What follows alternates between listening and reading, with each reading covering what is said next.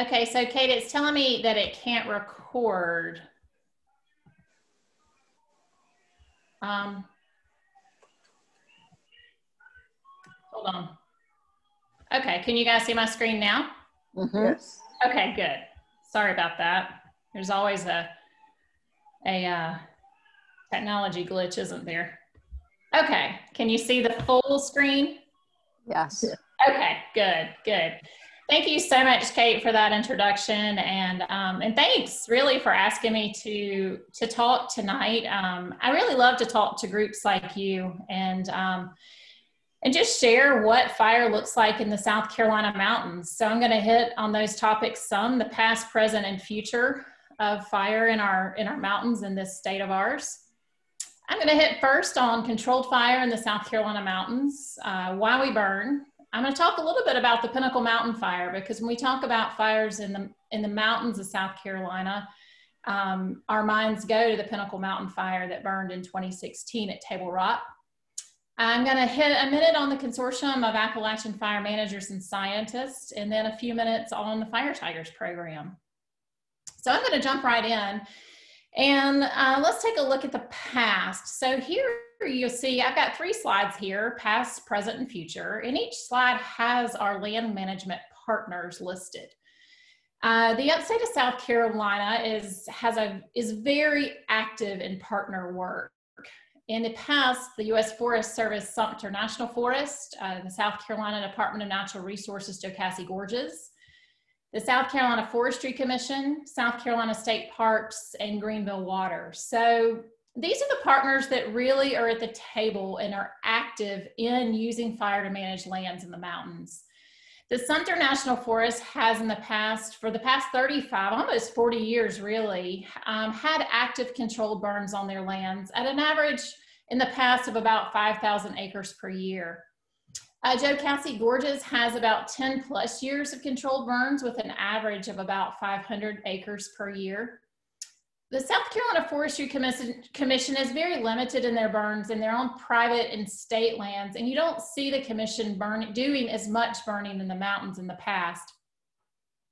South Carolina State Parks in the past had no history of control burns and then our um, Greenville water lands in the mountains of South Carolina had no no history of controlled burning.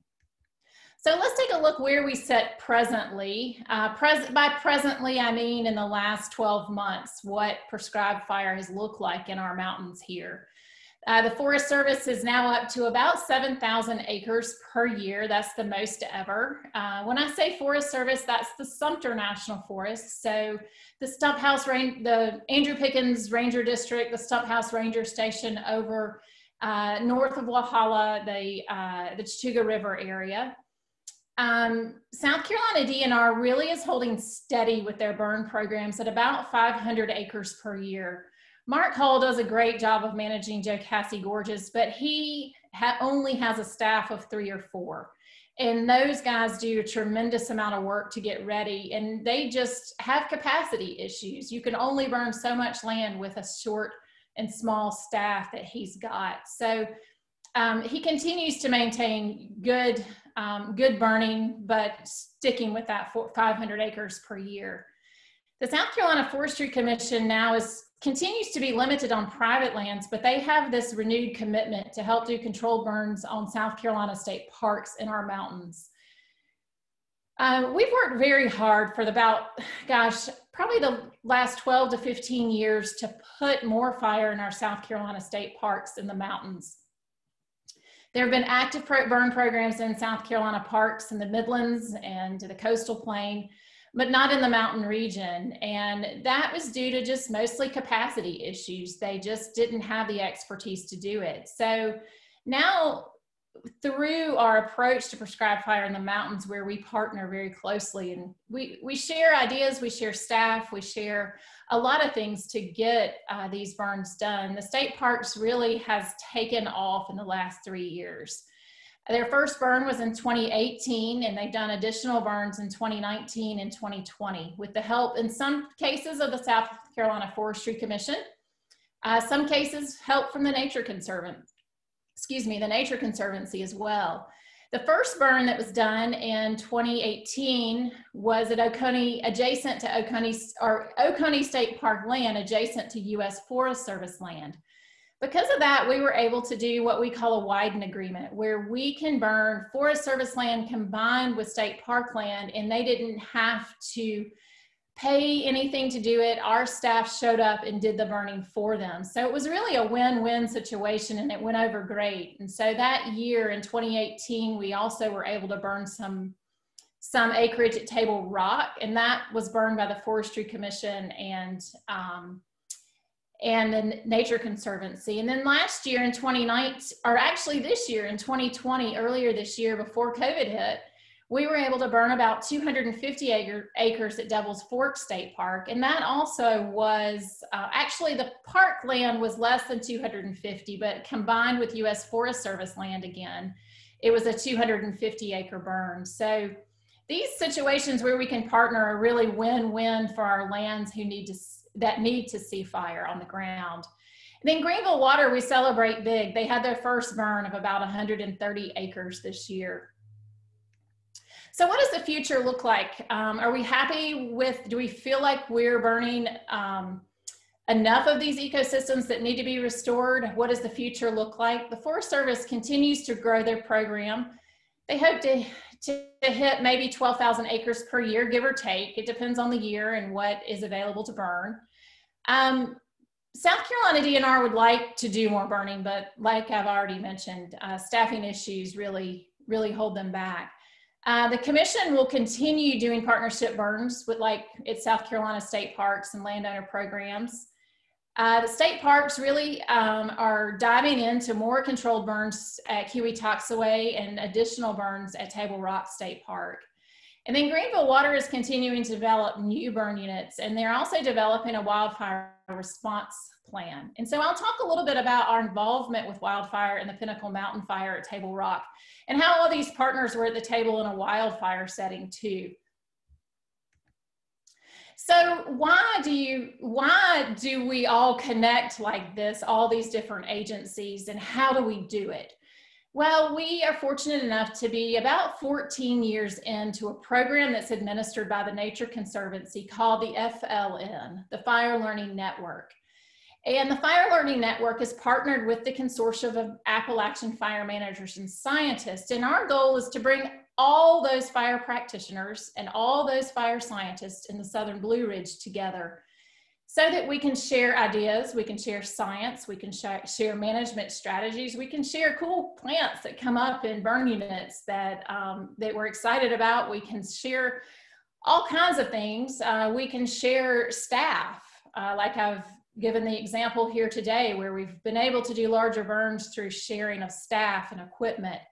And so really, it, I liken it to we're one big happy family now, and it's been 13 years of building this, um, this really great network where we all work together for the better of our lands in the Southern Blue Ridge and, um, and the South Carolina mountains. So why do we burn? Um, you know, three main reasons for ecological restoration, uh, the benefits to wildlife, and as well as fuels management or structure protection. So I'm going to kick it off and talk a little bit about ecological restoration first. And when I talk about ecological restoration, sometimes people don't understand that our ecosystems are a bit out of whack. Um, we have done, the Forest Service and Smokey here has done a really good job of putting out fires for the last hundred years. Um, we now know that we should have been letting some of these fires burn where they could burn safely without threat to structure and life. Uh, ecosystems need fire and um, without fire, what we've seen nationwide is this accumulation of fuel over um, many, many years, 100 years, and it leads to that, along with other things like climate change, lead to these catastrophic fires that we see every summer. That we uh, that we just saw this summer, one of the biggest summers of catastrophic fire on record. So, you know, I say all this to say that Smokey has his place. That uh, wildfire, we should be preventing wildfires. Um, but we should also be letting fires burn where they where they where they naturally should should be. So so we have this this challenge now to to use fire in a controlled way to restore these ecosystems that we've lost. Um, so what does that look like in our South Carolina mountains? It looks different no matter where you are in the country. Um, but here in the South Carolina mountains, I'm going to hit on a few uh, ecosystems that we work hard, we've been working hard to restore. Our Table, our Table Mountain pitch pine communities um, is the first one I want to hit on. We've been doing Table Mountain pine pitch pine research in the South Carolina mountains for almost 25 years now. Um, this is a fire dependent species. Table Mountain pine has a serotinous cone, so we need fire to open that cone. And then our pitch pine is not serotinous in the southern end of its range here in the southern Blue Ridge, but in the northern end of its range in the New Jersey Pine Barrens and uh, Massachusetts area, it is it does have a serotinous cone and needs it needs fire to propagate. Um, so we started off, you know, knowing that we needed fire to regenerate, and we also started off this research knowing that Table Mountain pine was in serious decline. Uh, it grows on south facing, very rocky ridge tops. Uh, no value for timber. I call it a short, squatty pine. It just kind of hangs on to those really steep ridge tops and holds it all together. It's my favorite tree. When I started with the Forest Service, day one, this is the tree I worked on with my research. And so um, it's been really fun to follow it over the years and watch, um, watch our knowledge develop as we have been able to do controlled burns in these ecosystems. So not only do we need fire here in this ecosystem to open these cones, but we need fire to prepare our seed bed. Without fire, we have this massive accumulation of duff on our forest floors that isn't um, isn't necessarily good in all cases. And without fire to reduce that duff on the forest floor, these seeds in Table Mountain pine can't germinate.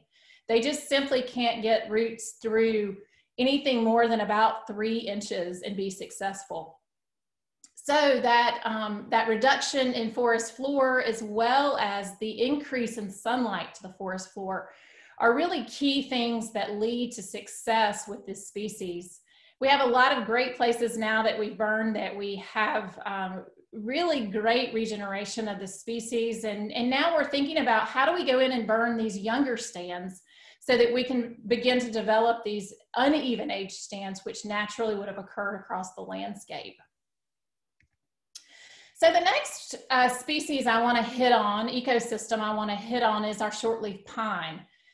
Um, this is another another species of concern. Um, we did a lot of cutting, especially in our South Carolina mountains on national forest land. We cut our short, our native shortleaf pine in the late 70s, early 80s to plant loblolly pine, which isn't native to our mountains, but it's a fast grower. And at that time, the, the Forest Service saw timber as, as something that was important.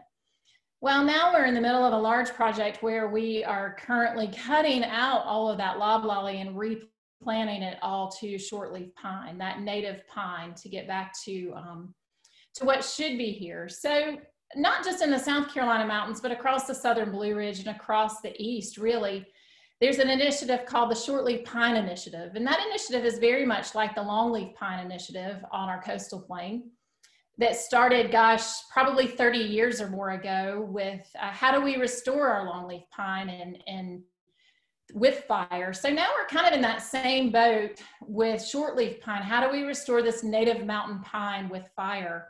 We know this, this species loves fire. It's got thick bark. Uh, it's a rapid sprouter.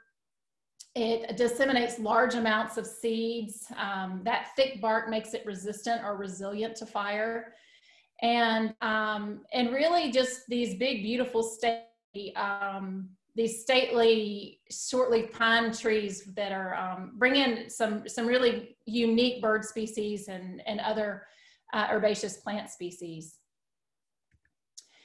And then the other one I want to hit on that we burn for in the South Carolina mountains is the smooth cone flower. flower. So this is uh, in the same family as the purple cone flower that is cultivated that you all, I'm sure, are aware of. Uh, this is a native to, to Oconee County, and in fact, it's on the endangered species list, but the largest population in the in Oconee County, or one of the largest populations in Oconee County.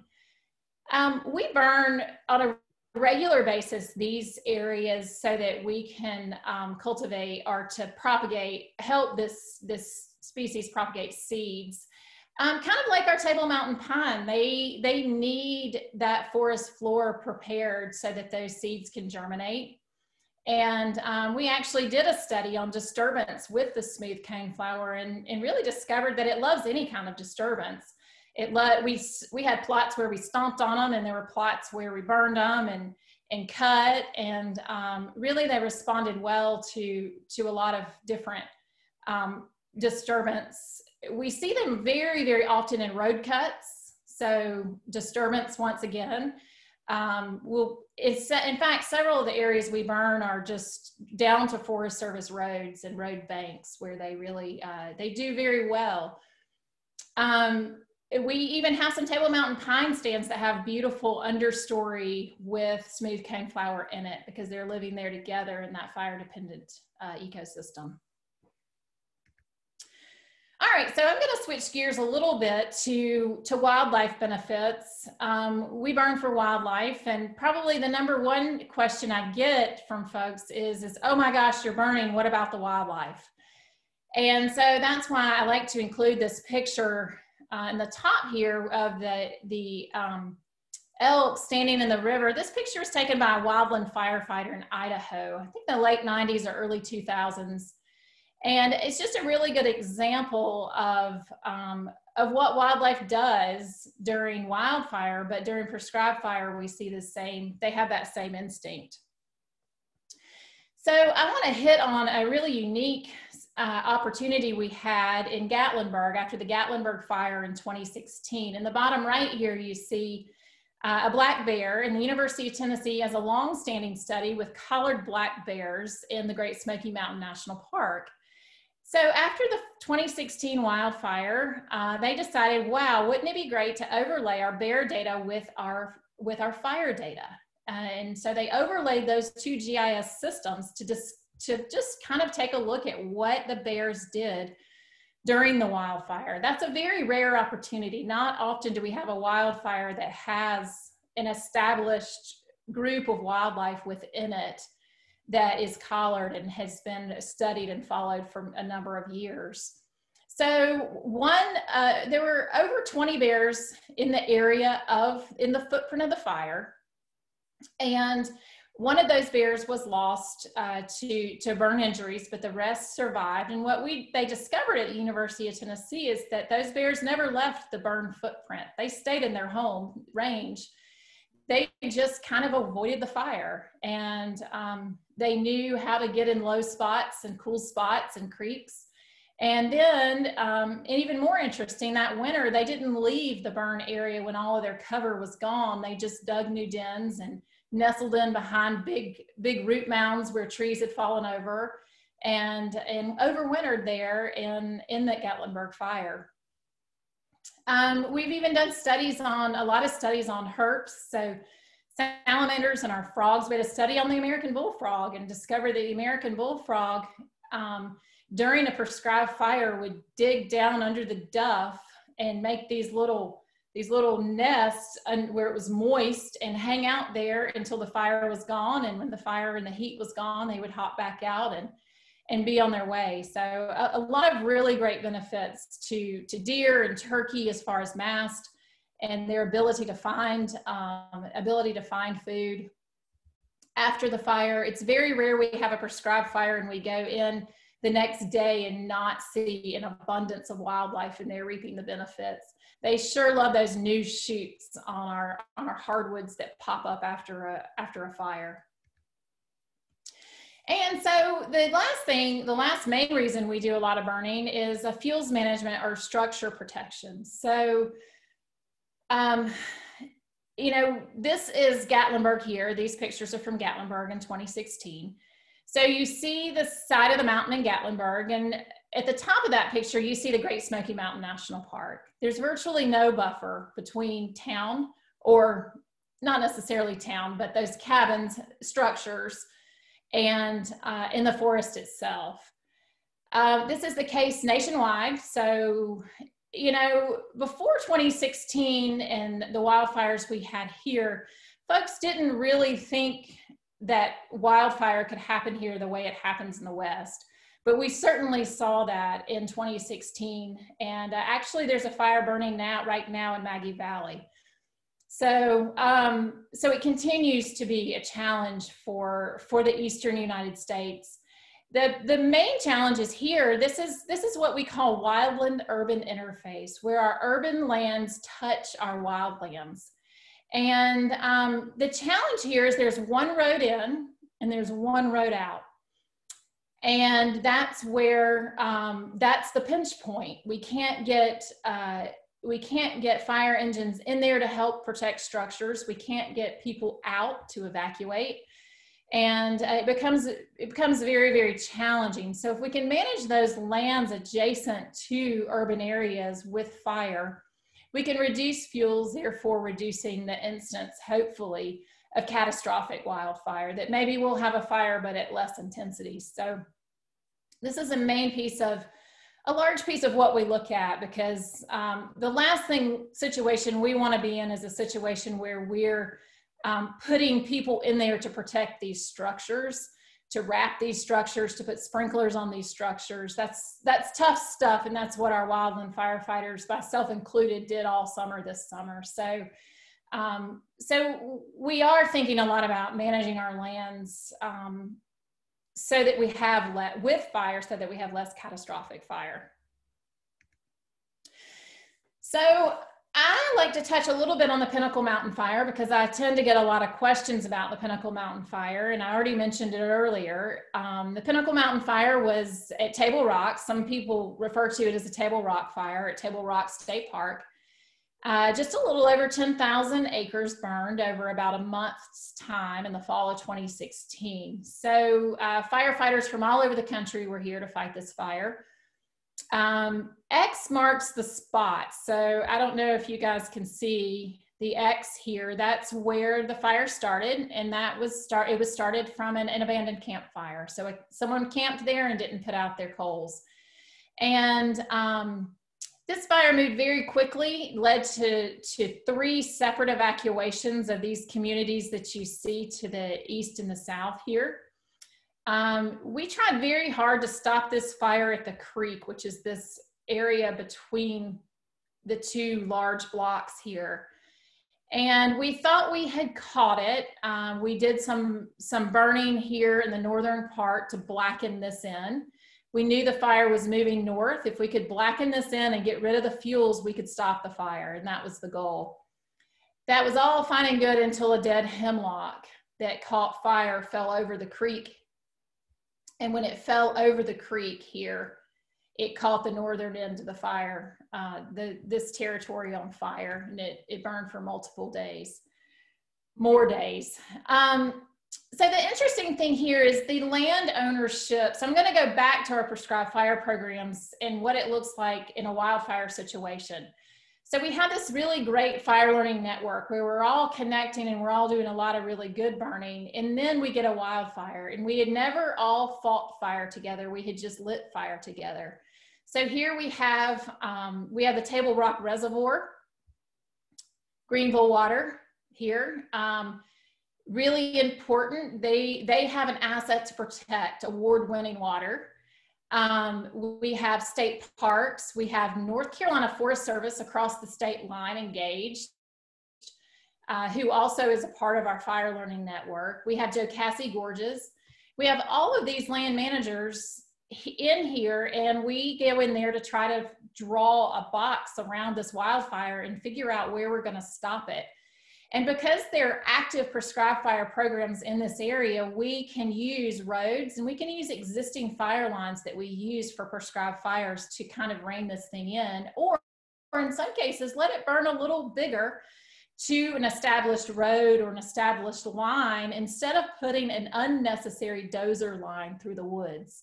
So there was a lot of dozer line that we had to put in here, and this hashed line that you see here is all dozer line.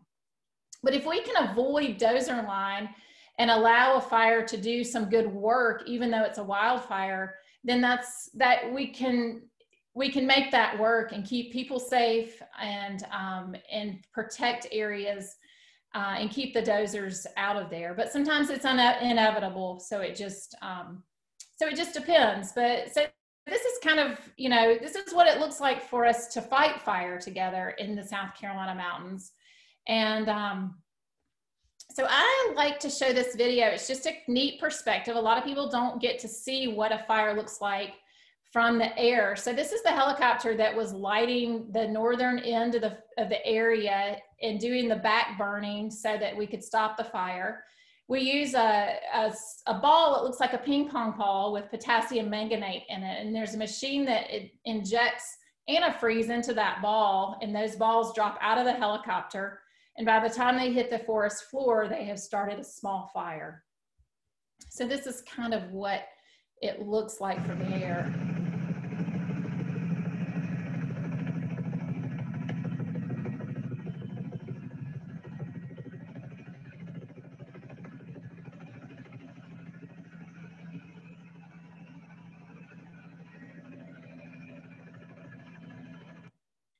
So we use this tool not only in wildfire situations, but we use this tool also in prescribed fires. We can very much control the heat and the intensity of a fire based on the pattern in which we put these balls out of the helicopter onto the ground. Uh, just another good series of photographs from the Pinnacle Mountain Fire. Um, the middle one there, you can see that that's a South Carolina National Guard helicopter with bucket drops. Uh, a lot of those bucket drops of water came from that Table Rock Reservoir, Greenville Water, as well as Lake Jocassee. And then um, a night burning operation by hand at the top. So not only did we do some by, by um, helicopter, but we also did uh, quite a bit by hand. And then just the bottom picture shows um, what the fire looked like when it was very active. And that was a, a shot from Highway 11. So we had the Pinnacle Mountain Fire, and we get together as a fire learning network like we always do, and we talk about, all right, where do we go from here? Do we just stop it and say, hey, we've had a wildfire and that's it? Well, no, I mean, we have this opportunity to do some really neat things, some new research. We have an opportunity to educate the public, um, an opportunity to make South Carolina mountain communities FireWise. FireWise is a great nationwide program that teaches homeowners how to to um, clear out around their homes and best practices to keep homes safe during wildfire situations. And that program is overseen by the South Carolina Forestry Commission. So some of that reaching the public piece came through this really neat idea called the Fire Learning Trail. So Table Rock State Park now has a fire learning trail which is a series of signs. And along with those signs is a series of podcasts. And those podcasts talk about fire. They talk to fire managers, they talk to wildland firefighters about, um, about he, in this case at Table Rock about um, the Pinnacle Mountain Fire and about prescribed fire programs. We now have a number of fire learning trails across the Southern Blue Ridge in different areas, and each one is a little different depending on the location. Um, you know, the the Pinnacle Mountain Fire gave us an opportunity to talk to the public a lot about the benefits of fire. And these are some of just the really neat share lines that came out of the media. The bears are back, the deer are back, everything's back, and they're thriving. Um, people forget that wildfire is natural. It's nature's way of clearing out the old undergrowth and making room for the new. Uh, we're looking at an out of whack environment. I, I, mentioned that earlier that our ecosystems are out of whack because of lack of fire. So how can we, um, how can these lands benefit from this wildfire? Um, and, in, and in Table Rock, in this case of the Pinnacle Mountain fire, this fire in many places was very low intensity and did, did a lot of work um, that, that a prescribed fire or a controlled fire would do. Uh, Clemson University has had the opportunity to do some really neat research in the area of the wildfire. This is some research for Greenville Water. Greenville Water wants to, as you saw on my press, past, present, and future earlier, they really want to put more fire on their lands because they experienced fire on their lands through the Pinnacle Mountain fire, but they're concerned about their asset. You know, this big asset, these lakes that they've got to keep clean. And um, so you know, Don Hagan at Clemson University is working through uh, water quality in reservoirs after fire. And what they're discovering is there's no negative impacts of um, on water quality after the wildfire. And um, that and other research has kind of has spurred and guided really Greenville Water in moving forward with more burning on their lands. And these are just a few pictures from um, that I like to share from the Pinnacle Mountain Fire because this is just a month well, this is January. So this fire wrapped up just before Thanksgiving in, of 2016, and this was January of 2017 in a hike we did out there. So much of this area benefited from the wildfire because it was very low intensity and um, very little bare mineral exposed soil out there. There is some, but uh, when you look over the landscape, the majority of it uh, still has a nice duff layer left and um, you can see the the there were already there was even leaves that fell after the fire and so there's even some litter on the forest floor this is an example of some of the duff reduction that we saw on our forest floor in the Pinnacle Mountain fire. We know that in a lot of places in the southern Blue Ridge, there's this extraordinary buildup of duff that causes fire when it comes through now to have a longer residence time at the base and the roots of the tree, which naturally wouldn't have happened with more frequent fire. So this is another reason to go in and do controlled fire at a lower intensity to reduce that duff over time. So that if we do have a wildfire, we have less overstory mortality but due to that long heat and residence time setting on the roots and the the lower portion of these, um, of our hardwoods that are out there. Um, you know, the Pinnacle Mountain Fire also allowed us an opportunity to put in some photo points. And so these photo points, I, I had the privilege actually of visiting these photo points within Table, Mount, Table Rock State Park once a week for a year. And we put these together in a time lapse. And um, this is just an example of one uh, springtime after the fire. Um, you can see on the ridge tops there to the right of the clouds a little bit of, of brown, but for the most part, we had a, a very lush green resurgence of our trees.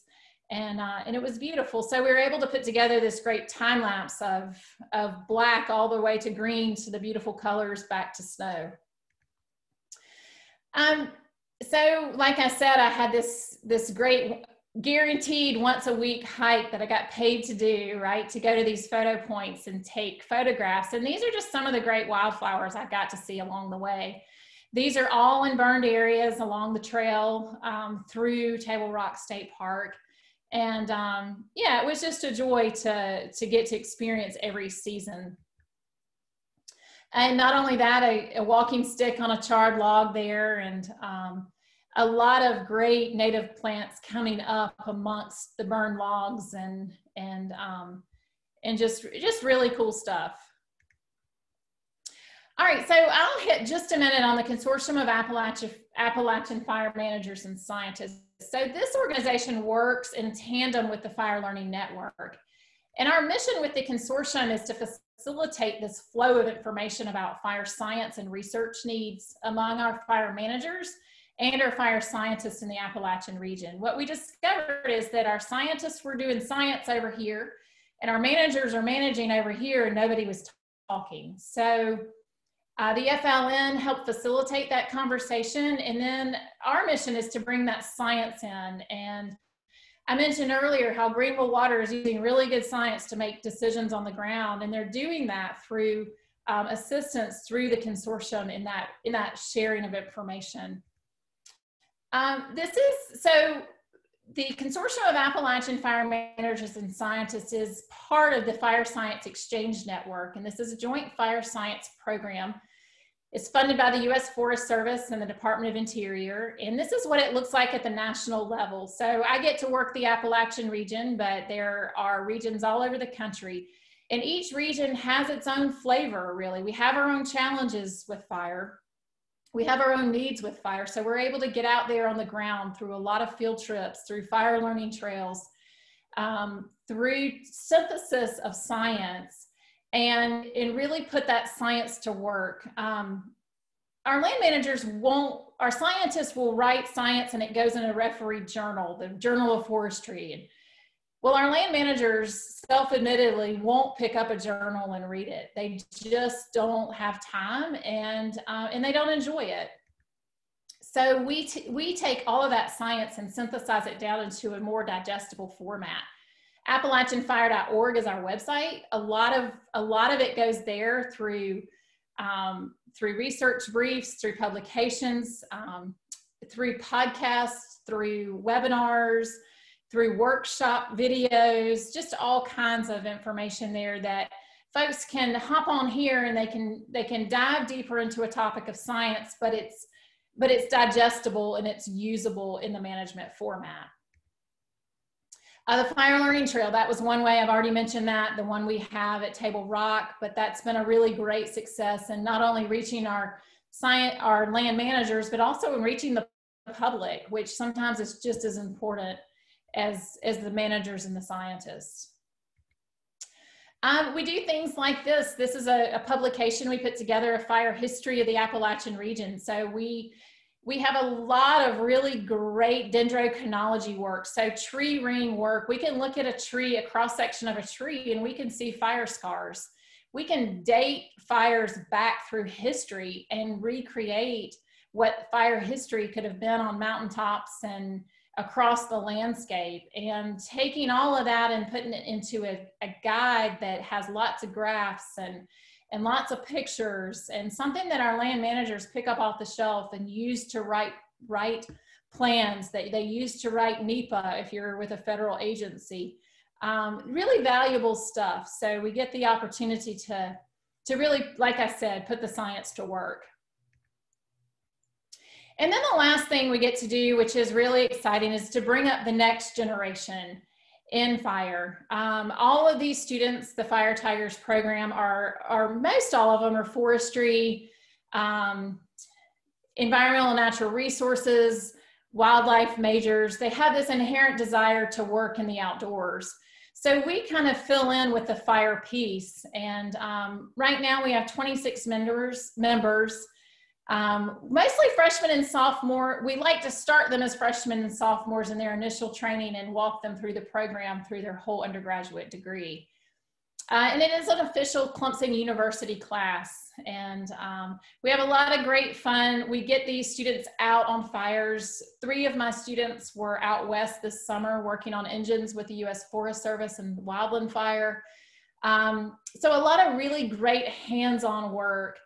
And um, one of the most important things, though, that we teach these students how to do is to use science from the start to make land management decisions. That no more can we go out and just burn where we want to burn, or nor do we need to be doing it that way.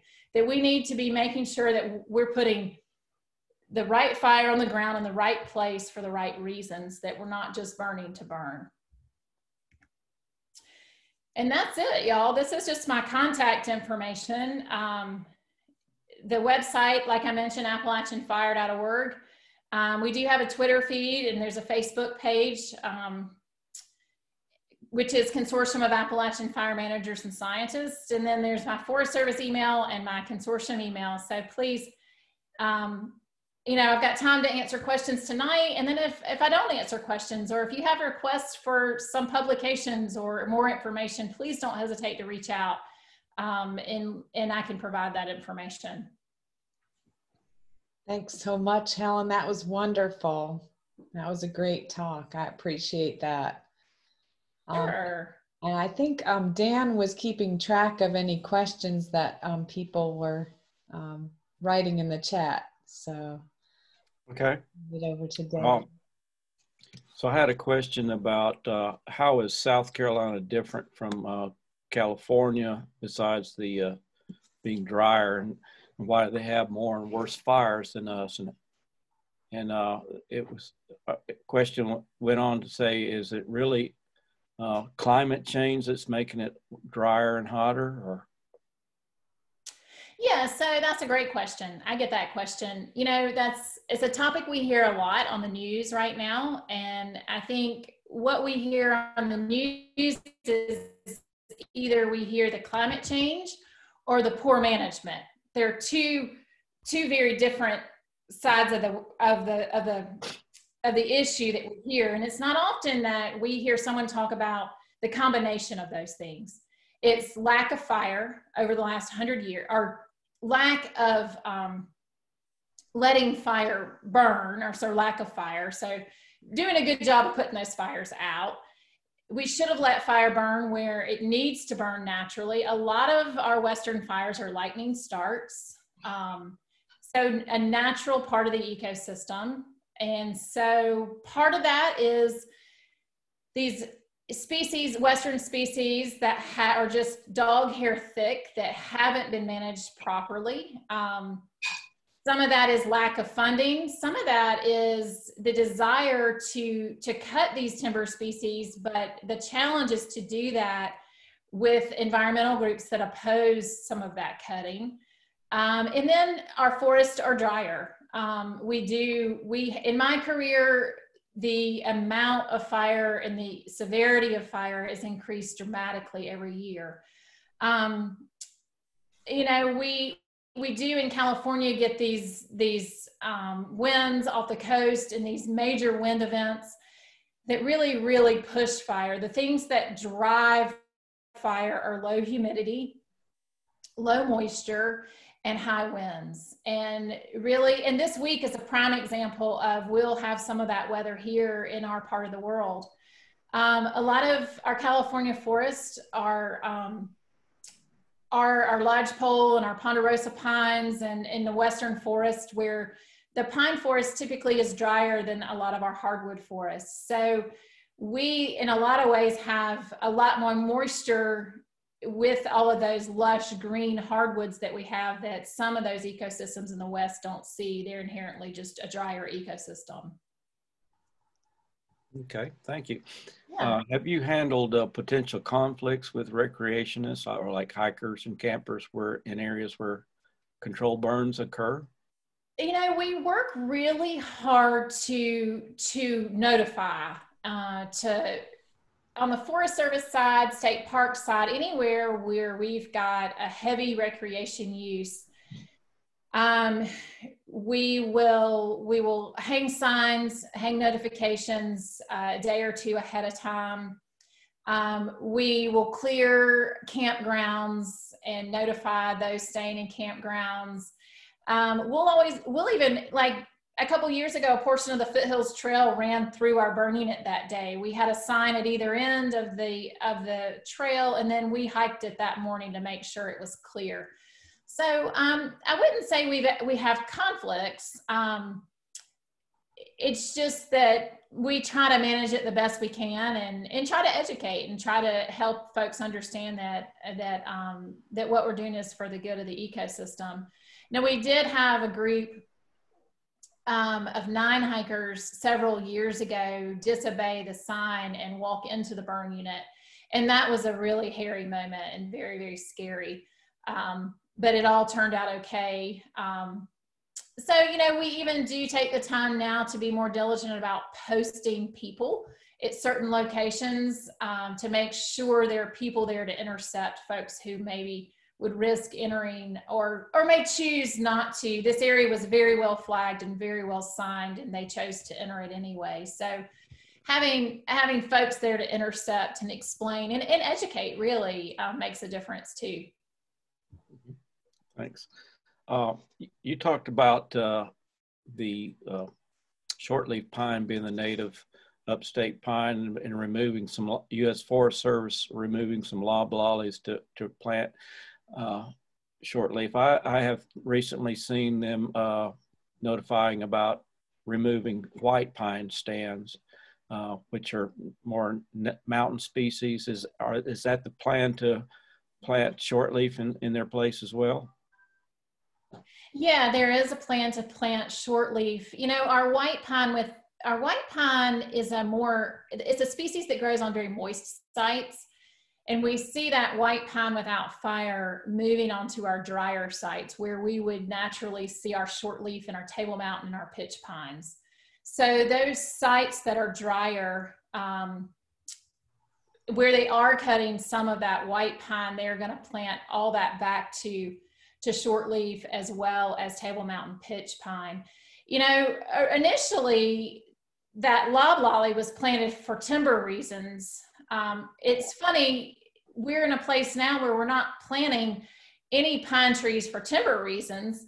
We're, we're planting them for ecological reasons. Um, shortleaf is a very, very slow growing pine tree.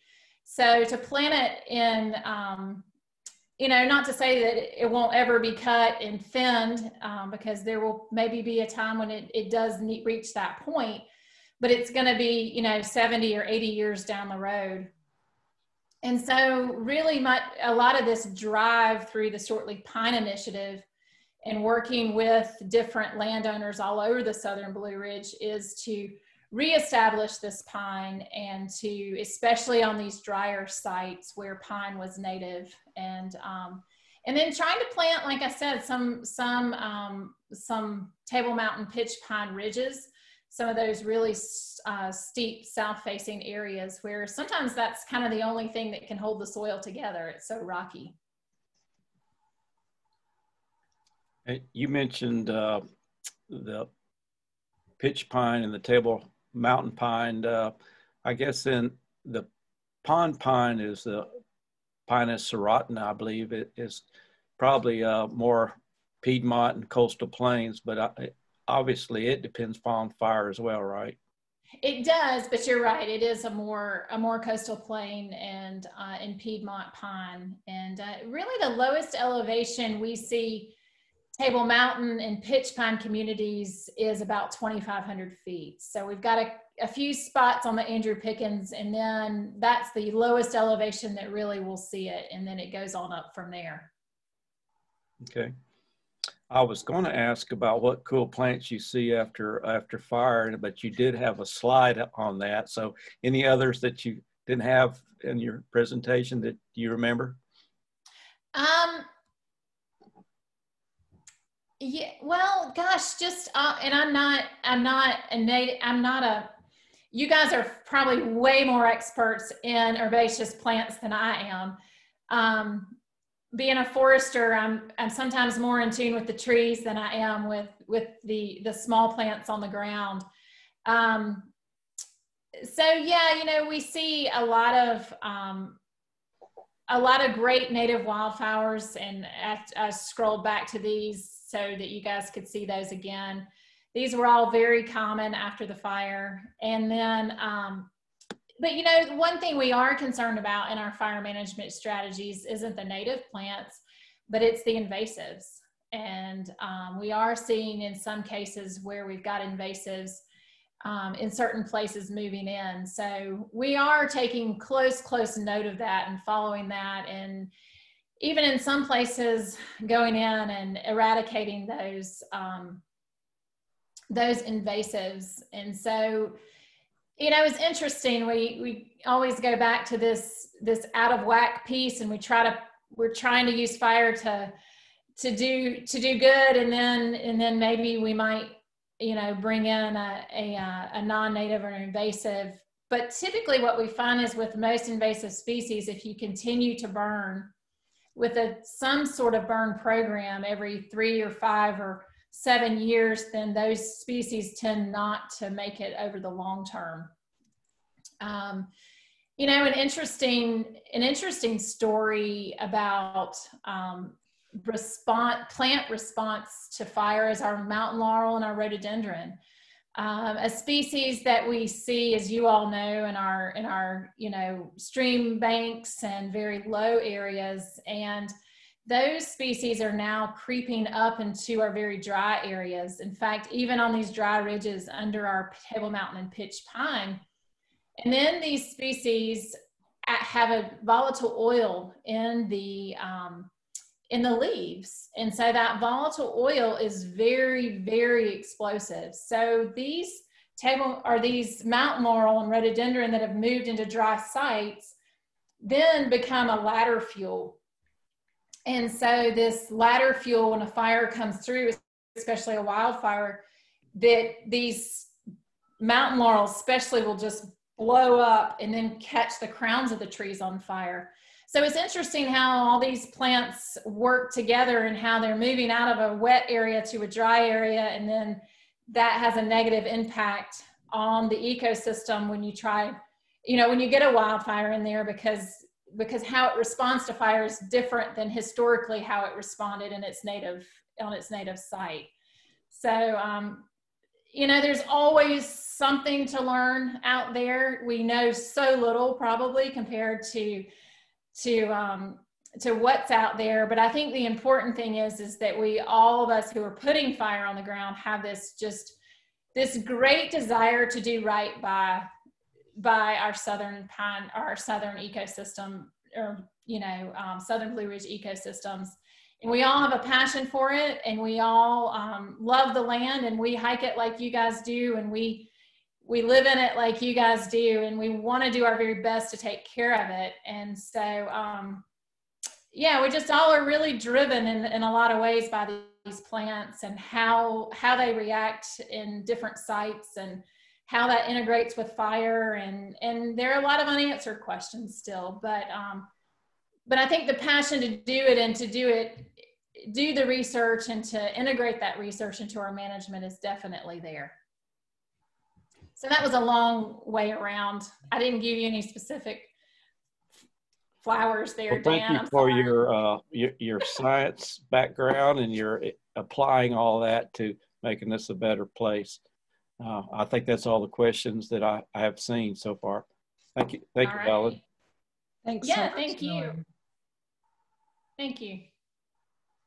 Thank you. We could hear the passion in your voice and and um and it was it was great um how you explained everything to us to help us better understand all that you're doing um, to protect the ecosystems is wonderful.